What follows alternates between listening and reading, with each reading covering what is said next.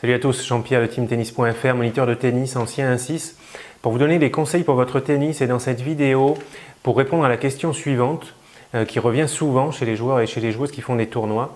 Comment réussir à ne pas jouer petit bras en match officiel? Comment ne pas être trop crispé? Comment être aussi relâché qu'à l'entraînement? Ça, c'est vraiment une question, hein, enfin un problème très fréquent quand on fait de la compétition. Et euh, bah, je vais vous donner mon avis et mes conseils là-dessus. Premier truc, il faut voir quelle différence il y a il faut comprendre la différence qu'il y a entre l'entraînement et la compétition. À l'entraînement, vous n'êtes pas tendu, ou en tout cas moins tendu euh, qu'en match officiel, parce qu'il n'y a pas d'enjeu à l'entraînement. Vous faites des exercices à l'entraînement, bon, la balle elle est bonne, elle est faute, on s'en fiche. Ça compte pas, euh, bon, il n'y a pas d'enjeu là-dessus. Après, vous faites des matchs d'entraînement, il n'y a pas d'enjeu, ça ne va pas compter pour votre classement à la fin de l'année. Donc voilà, ça a moins d'importance qu'un match officiel, il n'y a pas d'enjeu. Alors par contre, en match officiel, il y a un enjeu.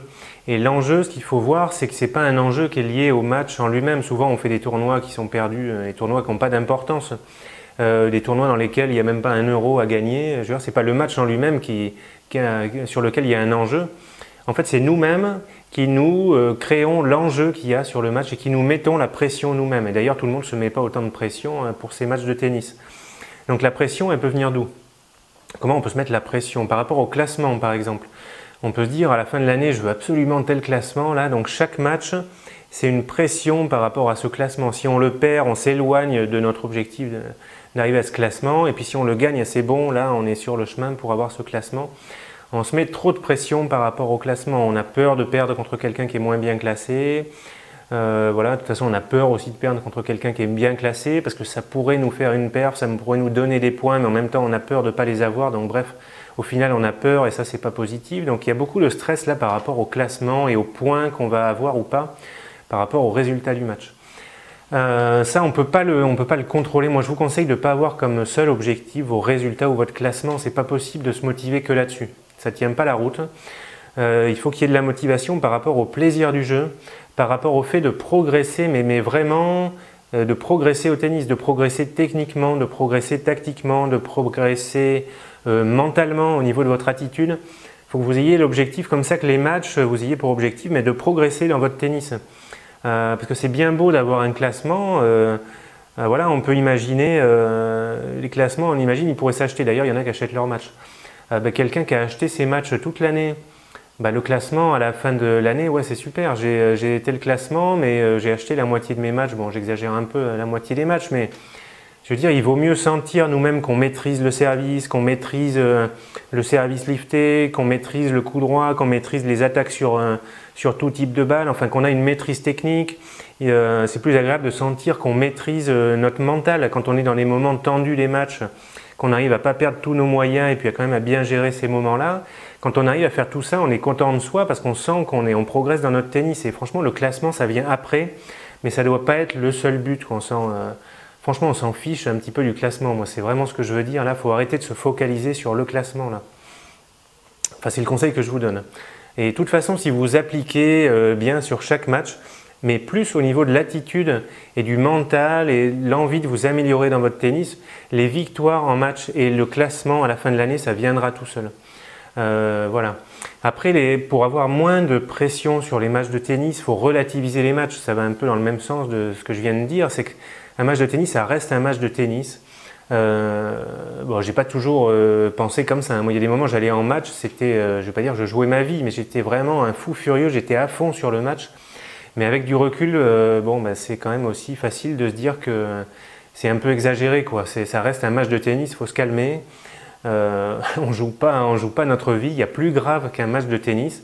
Et peut-être que cette idée, si vraiment vous, euh, vous y pensez, ça peut vous aider à relativiser le match, puis à vous dire il y a quand même plus grave qu'une défaite ou une victoire à un match de tennis. C'est un peu du bonus. Voilà, ça peut être une façon de relativiser. Après, il y en a qui jouent beaucoup pour leur entourage. Ils attachent beaucoup d'importance euh, à la vie des autres. C'est-à-dire, ils n'ont pas envie de dire qu'ils ont perdu parce que euh, ils se disent l'entourage, comment il va le prendre. C'est un peu la honte là de dire qu'on a perdu. Alors ça, c'est pas bon. Euh, il faut arriver à jouer pour soi. Il faut jouer pour soi. Et si votre entourage vous vous avez l'impression qu'il vous juge quand vous avez perdu ou quand vous avez gagné, vous êtes un peu en stress comme ça par rapport à ce que vous allez dire à l'entourage. À mon avis, c'est que votre entourage n'est pas positif c'est pas normal. Un bon entourage, il est positif dans tout, à tous les moments. Si vous perdez, votre entourage va être positif. Euh, ça ne va pas vous poser de problème de dire à votre entourage que vous avez perdu. Ça, c'est quelque chose de normal.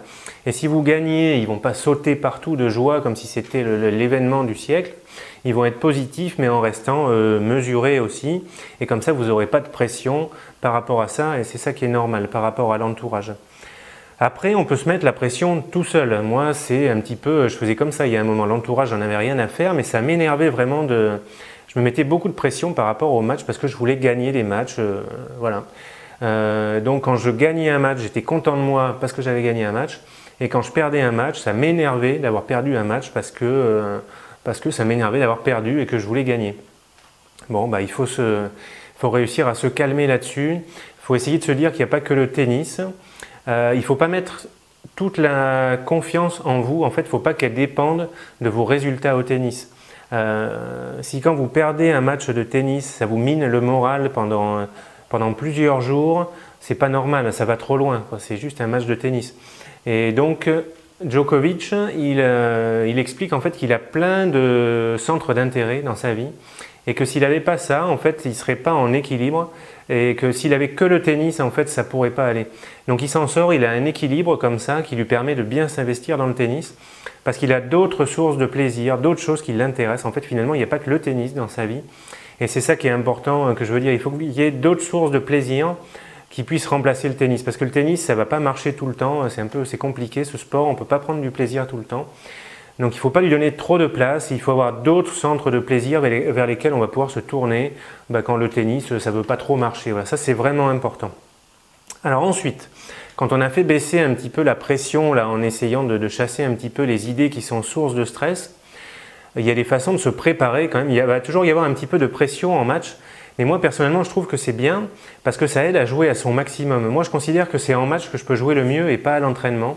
Parce que justement, en match, il y aura cette petite, euh, cette petite pression, ce petit stress qui, s'il reste assez petit, s'il reste gérable, il va être, euh, avoir un niveau juste assez suffisant pour être très concentré. Et c'est justement en étant très concentré que vous allez arriver à jouer le mieux. Mais par contre, si le stress il prend trop de place, euh, bah là ça fait l'effet inverse et on arrive au stade où on est crispé, on n'a plus aucun relâchement. Alors là forcément c'est un effet négatif, là il y a trop de stress dans ce cas-là. Bon, il y aura toujours un peu de stress. Comment le minimiser? Il faut, au niveau des entraînements, que vous vous mettiez le plus possible en situation euh, où vous mettez la pression par rapport au score, par rapport aux résultats. Donc quand vous faites des exercices, comptez les points. Il faut que chaque balle bonne, enfin il faut que chaque balle faute euh, elle passe pas inaperçue. Il faut qu'il y euh, il y a une balle faute, vous perdez un point, que ça vous rappelle à l'ordre un petit peu qu'il faut mettre la balle dans le terrain. Donc comptez les points quand vous faites des exercices. Euh, quand vous faites des matchs d'entraînement, euh, essayez de vous mettre mentalement dans l'attitude, dans le même état d'esprit que quand vous êtes en match. C'est-à-dire on peut faire des matchs d'entraînement en se disant bon là je vais taper dans tous les sens, je vais me faire plaisir, même si c'est que ce soit tactique ou pas. Là je suis même pas, je suis pas bien placé sur le terrain, je tente quand même un coup gagnant. On ne peut pas faire ça en match officiel, donc ne faites pas ça en match d'entraînement, surtout quand vous êtes à l'approche des matchs. Jouez vraiment bien tactique quand vous êtes en match d'entraînement, à l'approche des matchs. C'est-à-dire vous êtes en défense, vous faites un coup de défense. Vous êtes en situation neutre, vous faites un coup d'attente. Vous êtes en situation offensive, un petit peu dans le terrain, balle facile à jouer, vous tentez quelque chose. Et là, il y a, y a, il y a de la tactique, donc ça commence à ressembler à quelque chose. Et c'est de la même façon qu'il faudra jouer en match officiel. Et comme ça, il y aura moins de différence quand vous passerez de l'entraînement à un match officiel. C'est ça l'objectif. De se mettre le plus possible à l'entraînement. À l'entraînement, il faut que ça ressemble le plus possible à l'état d'esprit du match officiel avec la pression qui va avec. Peut-être faites des paris quand vous faites un match officiel avec votre partenaire, vous faites un pari, celui qui perd, il offre à boire à l'autre. Peut-être que ça mettra un petit peu de pression. Euh, alors vous pariez un resto, si vous avez les moyens de jouer un resto à chaque fois, ça mettra une petite pression, un petit pari là sur le match et une petite tension comme, euh, comme en match officiel. Euh, donc entraînez-vous bien, ça c'est important. Ensuite, d'autres petits trucs. Alors moi que je faisais, moi j'aimais bien avant les matchs, quand j'avais le temps, là, quand j'étais un peu à fond là, dans les tournois, j'aimais bien bien m'échauffer avant le match. Déjà pour être bien chaud, pour attaquer le match d'entrée bien en forme. Donc j'arrivais un peu en avance en tournoi, une demi-heure avant. Euh, et puis j'allais, il y a toujours un coin là dans les alentours où on peut aller courir. J'allais courir un quart d'heure, je trottinais, après je faisais des sprints, des pas chassés, n'importe quoi, les déplacements un peu comme sur un terrain de tennis. Et j'arrivais déjà en état de transpiration, déjà un, petit peu essoufflé à la fin de l'échauffement. Et ça, ça détend déjà d'être bien échauffé. Puis en plus, l'adversaire, il voit quelqu'un qui est échauffé, déjà il se dit, oula, lui, il prend les choses au sérieux, ça peut déjà le, mettre le stress un petit peu sur lui. Donc échauffez-vous bien, ça c'est important. Après, quand vous êtes dans le match et que vous sentez que vous êtes tendu, utilisez votre respiration. C'est vraiment une technique, on en entend parler partout. C'est pas pour rien la respiration pour le relâchement. Vous sentez que vous êtes tendu. Quand on est tendu en match, on a tendance à tout faire plus vite. On marche plus vite, on enchaîne les points plus vite. Des fois, au changement de côté, on n'attend même pas une minute trente, on boit un coup, bam, on se lève, on va enchaîner. Là, c'est pas bon, faut calmer, euh, faut calmer l'histoire là quand ça devient un peu la panique. Et ça, faut le faire par la respiration. Vous vous dites, ok, là, entre les points, au changement de côté, vous prenez 3, 4, 5 grandes respirations, respiration profonde et respiration lente. Et vous allez voir que ça va vous calmer, ça va vous aider à être plus lucide, ça va vous aider à prendre votre temps et sinon aussi, obligez-vous à prendre votre temps. Ça, ça va vous aider aussi euh, à être plus relâché et à diminuer un peu le stress. Le souffle aussi, utilisez-le quand vous tapez dans la balle. C'est hyper important d'inspirer quand on prépare et de souffler. Euh, le souffler, il faudrait le faire presque en fin de préparation. Là, on inspire et je suis en fin de préparation. Commence à souffler jusqu'à la fin du geste. Et ça, automatiquement, ça va vous donner du relâchement musculaire de souffler pendant la frappe. Euh, autre chose, si vous sentez que vous êtes crispé, moi c'est un truc que je fais de temps en temps. En fait, si ça m'arrive d'être crispé en match, enfin quand ça m'arrivait, parce que maintenant je fais plus de match, en fait quand je le sens arriver, ça m'énerve de sentir que je commence à être crispé. Je veux pas laisser de place à la, crispation en fait, et je me dis je veux faire l'inverse de ça, et du coup je lâche quelques coups là.